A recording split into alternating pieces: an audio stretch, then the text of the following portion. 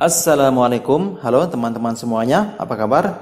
Pada kesempatan kali ini saya akan membuat tutorial cara merubah suasana background pada gambar menggunakan aplikasi PixArt.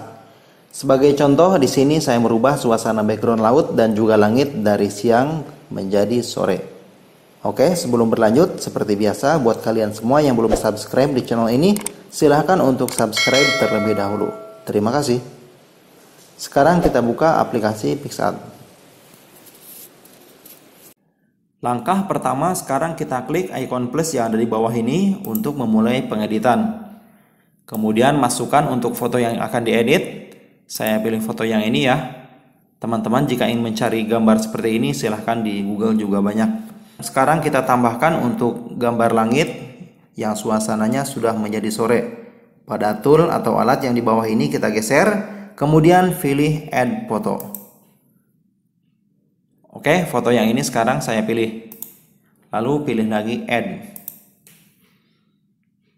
Langkah berikutnya sekarang kita crop atau potong untuk gambar langit ini. Pada tool yang ada di bawah kita pilih crop. Kemudian kita sisakan saja untuk gambar langitnya. Oke, seperti ini. Kemudian centang. Langkah berikutnya opasitasnya kita turunkan dulu untuk sementara menjadi 75 apa-apa ya. Ini tujuannya supaya gambar yang di belakang, gambar gunung ini bisa kelihatan.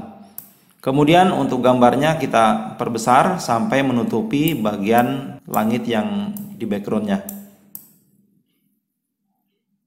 Ya, ini udah pas. Kemudian untuk bagian gunungnya kita tutupin. Selanjutnya kita pilih untuk alat yang di atas yaitu eraser untuk menghapus bagian yang menutupi gunung. Kita pilih eraser kemudian kita klik lagi di bawah untuk size disesuaikan dengan ukuran jari teman-teman ya opasitasnya kita buat menjadi 100 dan untuk hardness 70 kemudian sekarang kita mulai untuk menghapus bagian yang gunung ini sekarang kita zoom dulu Oke, untuk bagian gunung atau pulau ya, saya juga nggak tahu. Kita hapus. Oke, seperti ini. Dan untuk bagian yang di atas gunungnya terhapus tidak masalah karena nanti akan kita perbaiki supaya gambarnya sempurna. Kemudian gambar orangnya ini kan ada posisinya di depan ya. Kita hapus juga sama seperti ini. Ya, sudah. Kemudian sekarang kita pilih untuk tool canvas yang ada di bawah ini sebelah eraser. Kemudian kita atur dulu untuk size cukup 16 saja karena objek yang akan kita perbaiki ini kecil ya. Kemudian opasitas 100 dan hardness jangan 70 tetapi 80 aja. Sekarang untuk bagian langit yang terhapus, yang langit sore kita perbaiki lagi supaya menempel ke pulau atau gunung. Ya, seperti ini ya. Jadi kesannya menyatu. Selanjutnya untuk bagian lapisan yang di dekat orangnya ini sama ini memerlukan benar-benar ketelitian dan juga kesabaran ya. Oke teman-teman sudah selesai untuk warna langitnya sudah kita ganti menjadi nuansa sore. Kemudian kita centang dan sekarang untuk opasitasnya kita kembalikan lagi ke 100% supaya gambarnya terlihat lebih jelas. Oke mantap sekali untuk gambar langit sudah berubah menjadi sore. Sekarang kita ganti untuk warna lautnya supaya menyesuaikan dengan warna langit yang sore ini. Jadi kesannya ya efek bayangan atau cermin ya. Kemudian sekarang kita klik centang di bagian atas dan masukkan untuk foto langit yang sama. Pada tool yang ada di bawah kita pilih add foto. Kemudian untuk langitnya kita pilih lagi lalu add. Sama seperti tadi sekarang kita crop atau potong Kemudian sisakan untuk bagian langitnya saja. Oke, seperti ini. Kemudian centang. Langkah berikutnya untuk gambar langitnya ini kita flip ke bawah seperti ini.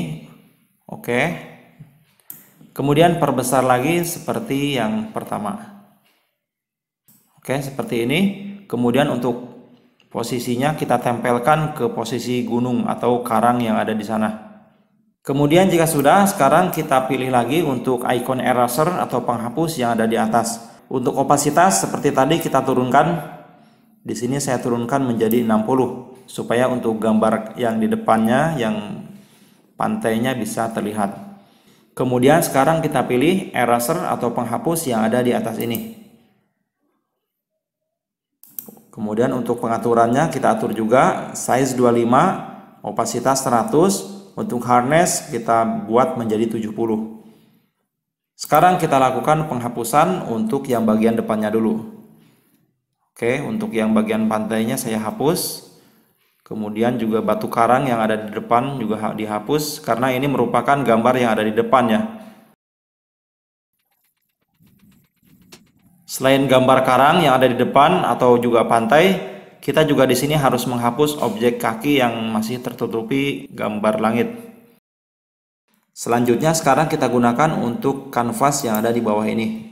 Kemudian atur untuk size 25, opasitasnya tetap 100 dan hardness kita turunkan atau kita naikkan menjadi 80. Kemudian sekarang bagian yang tadi terhapus, yang tepiannya masih terlihat, kita perbaiki. Dimulai dari yang bagian karang ini ya. Ya, lakukan kembali cara ini secara hati-hati ya supaya bagian yang harus terlihat seperti kaki ini tidak tertutupi oleh warna langitnya.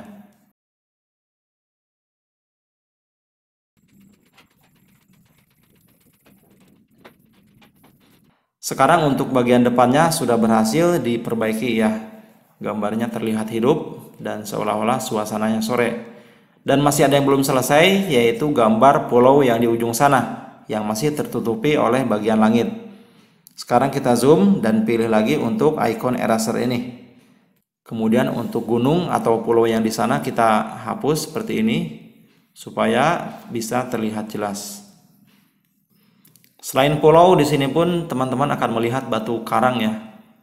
Kemudian untuk memperbaiki tepiannya yang terlalu lebar penghapusannya, kita klik lagi icon kanvas yang ada di sebelah bawah ini. Oke, sekarang kita perbaiki lagi supaya untuk lautnya merata berwarna kuning ya. Oke, untuk penghapusan sudah selesai.